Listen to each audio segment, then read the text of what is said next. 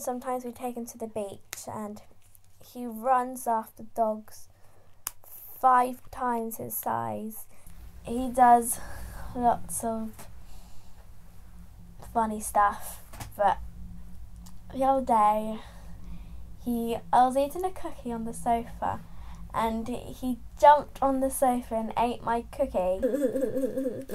We're trying to tr- train him to do it the far end of the garden because we've got decking and he's his wee is making all the decking all pale.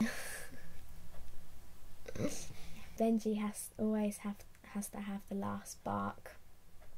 And when we're telling him off as well, when he does something naughty, he barks back at us. He just goes and then walks away.